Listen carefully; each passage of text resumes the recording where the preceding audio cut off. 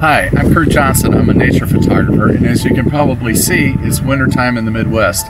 And you know, it's always easy and fun and simple when it's spring, summer, or fall to go out and shoot beautiful nature imagery. Well, sometimes you got to work a little bit harder in the winter.